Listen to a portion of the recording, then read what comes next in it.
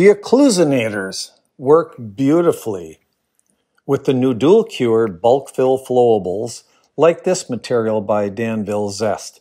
This is called Bulk EZ. Notice how fast I can fill that and how accurately I can fill it with that needle shaped applicator.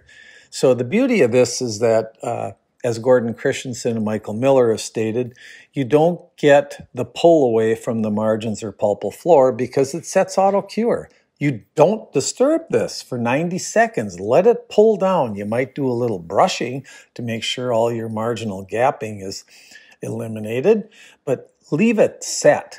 It's important. 90 seconds. Once that peroxide is used up as the catalyst, then we can photopolymerize it. And then we put some dots on there just to describe where we're going to start. We're going to start at the central pit and we're going to go right down to the limit stop and then we'll go to the mesial marginal pit. We'll create that to the limit stop, distal marginal pit. And then we work toward the pits. So we always go halfway and then go to the next pit and come back halfway. So that way we're creating planes. We're not just cutting a straight trench all the way through.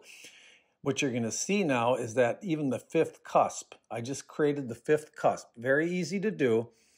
And keep in mind, this is 50 micron diamond. So at 100,000 RPMs with a lot of water, you get a lot of great shaping. This is 15 micron now. This is a finisher and a polisher diamond. And this is what, because of the straight side, will just define those planes and make them very sharp. Now we're going to remove the bands. So keep in mind, this is real time. See how quick it is to produce these restorations. So we pull our bands out. Then we go to the Strauss Mylar discs, which are beautiful, both in size, texture, and also the fact their mandrel is very unobtrusive. So I'm finishing in the interproximal areas there. And now what I'm going to do is round over the marginal ridges. Where I'm rounding over the marginal ridge to make a very flossable situation.